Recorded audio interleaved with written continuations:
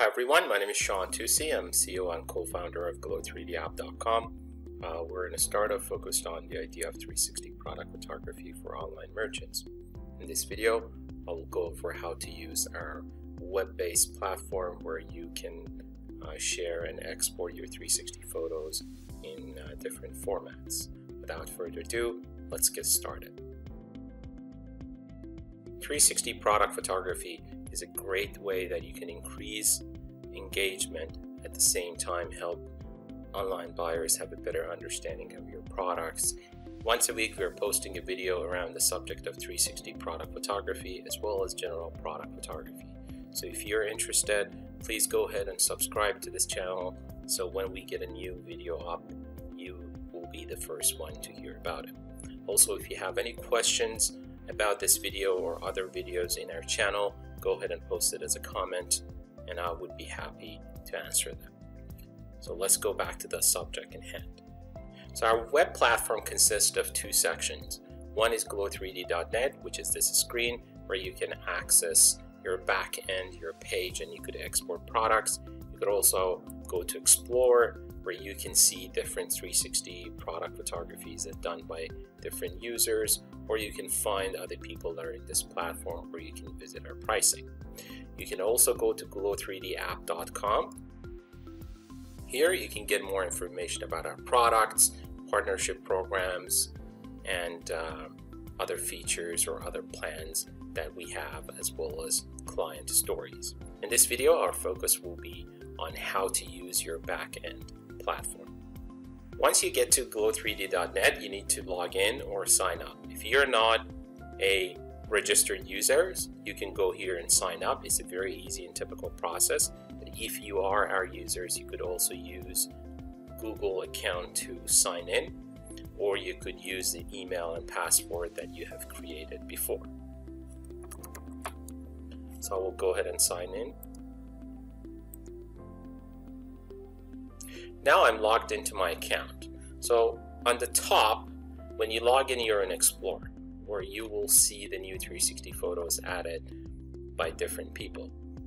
The first item on the left that shows a house is your page, where it shows only your 360 photos. Obviously, I've logged into my account, so this is my profile. On the top, we have the albums. So if it is the first time you're logging, in, you will not see the album because this is uh, basically like a playlist or folder that I create to organize my products. Uh, so at the, at the beginning, if you haven't created any album, you will not be able to see this. And in this section, you will see the lower section, you will see uh, where your products are. On the top is information about you. The edit profile take you to the section where you can add information or edit it. You can access this from mobile or web. And here you could also decide what watermark you would like to have or if you would like to turn on and off the watermarks in your platforms as well as other information such as your email if you would like to make it available to others to see. You could also use this button to share your profile and uh, your 360 portfolio uh, to anyone through any of the social platforms, including Facebook, Twitter, Pinterest. You could just copy the link, or you could embed this whole page into your website, for example. So you don't have to have people exit your website to see your 360 photo um, portfolio. This probably works the best if you're an artist or somebody that has a page that would like to bring people and show their products. Uh, the next section is my feed, where you can follow other people, very similar to Facebook and other social platforms. And as they post a new object or new product, you will be able to see it here if that product or that model is public. So the way it would works is that as you go through um, our Explore, uh, decide to uh, follow the, a user, and as you follow users, then you will be able to here I'm following this user, so I could follow or unfollow that user, and uh, then we will be able to uh, see the new product as they created when you come to your My Feed page. In this section, you can find the different users of Glo3D app, and here you can see the pricing, which are different plans we have. Uh, they may change as the time goes from the time we're recording this video, but basically the most updated pricing and feature list will be here. And in this section, you have analytics, you can see the bookmarks. Um, that's basically saving some of the models so you can always come back to them. You can have access to edit profile here again. Here will take you to our online store where you can purchase 360 product photography equipment such as light boxes, turntables, as well as uh, tripods. In this section, you can see tutorial where it will take you to our YouTube channel where you can see different videos that we're using um, from different playlists um, such as our iPhone and Android product photography apps, our desktop app, um, integration platforms to Shopify, WooCommerce, BigCommerce, uh, Magento, and other platforms as well. Now I'm back at my homepage where I can see my different products. And the first thing you need to know is the different status for privacy. So private, which is what this specific product is, is when nobody has the access to it. Only when I log into my page, I will be able to see them. So other people, as they come to my page, I will not be able to see it. If I've already embedded this product somewhere and I change the privacy to private, it will not show anywhere that this product is embedded. Unlisted is the status where it gives you a little bit of a privacy by means that only people that have the link will be able to see it. So if people come to your Glo3D page, they will not be able to see it. If you embed it somewhere, people will not be able to see it. So the only possible ways that people can see this is if you send them the link or they already have the link. This is best if you have a product that is in an early stage or if you're a photographer that you would like to send a product to a client 360 photo to get them approve it. So you really don't want it private because you want to share it, but at the same time you don't want it public because you don't want everybody to see it.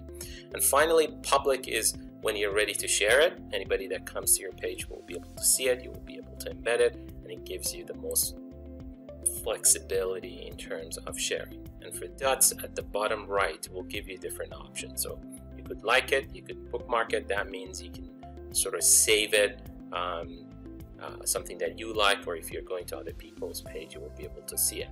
This, you can create different albums to organize your client if you're offering the 360 product photography service, or if you're using it for yourself, you could really organize them into different albums.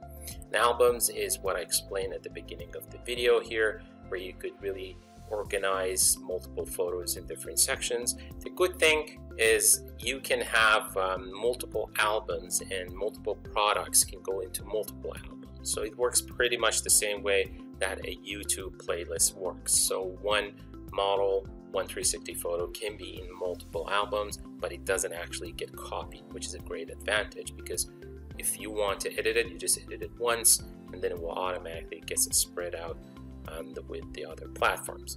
Uh, with edit, it will give you the option where you can edit some information about that product, get more information, main properties, you can assign name, assign a web page, so that creates a backlink. For example, if you're selling a product in Amazon, in your website, in Shopify, in WooCommerce, you could have that URL here. So anybody that sees it and likes it, they could actually have a link and go and visit it. Very similar to what a Pinterest uh, product is. Here you can add descriptions, and here you can add custom fields.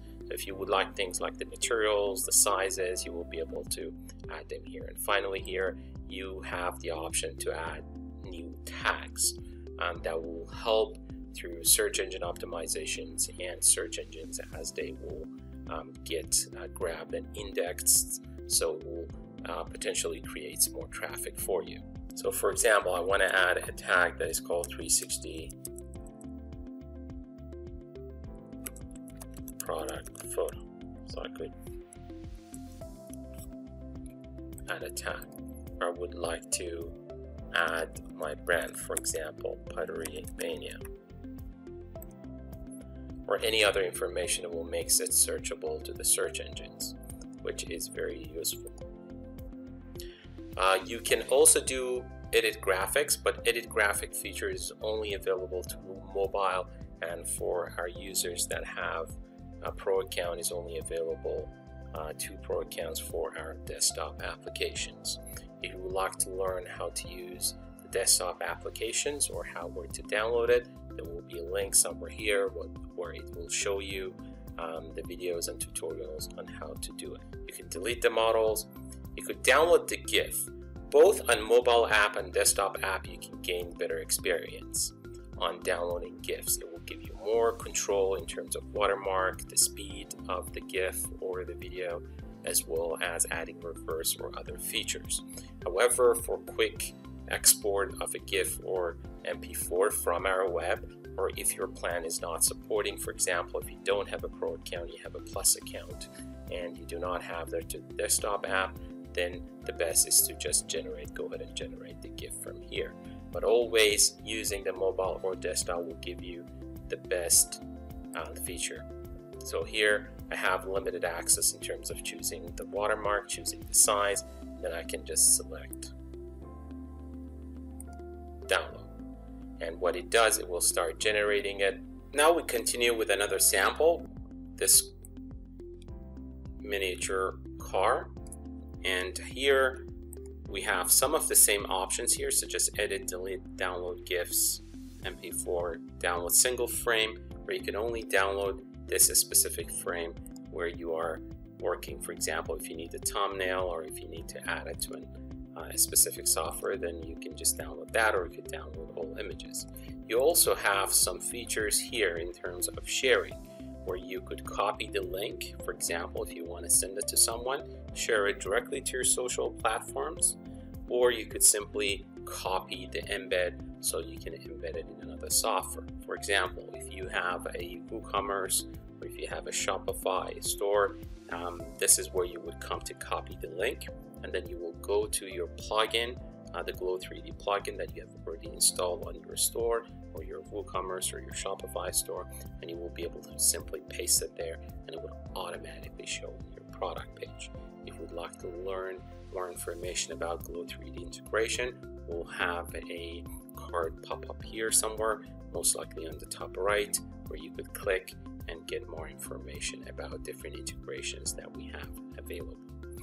Uh, this is also an embed directly to eBay. Unfortunately, eBay does not currently support the interactive 360 photos, but what it does once you click embed, it will copy the embed in um, here and then you can go to your eBay listing and simply copy paste this embed code and it will generate an spin image GIF that will show the image moving around automatically posted to your eBay. Card popping up here on the top right take you to that specific video about how to embed a product on eBay.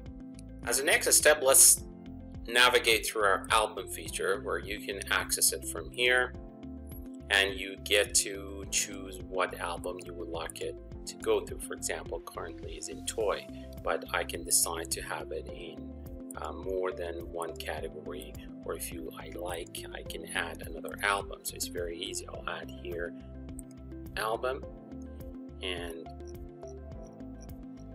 if I scroll down I can see it here and I can select it. So now uh, what will happen is a new album will be created for me here as you will see and then every time that I go here to this album I will only see um, the products or the models that are added in that album.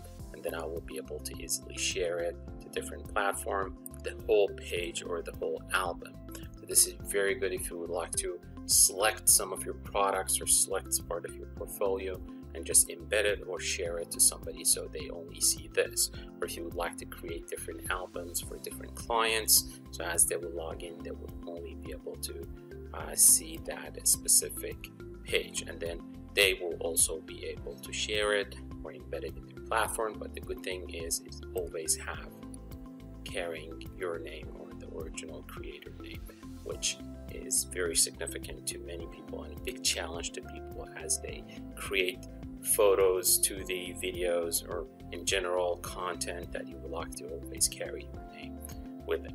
So this pretty much uh, wraps up our, uh, our web. And um, if there is any question, again, feel free to add it as a comment, and I will be more than happy to answer any question you have.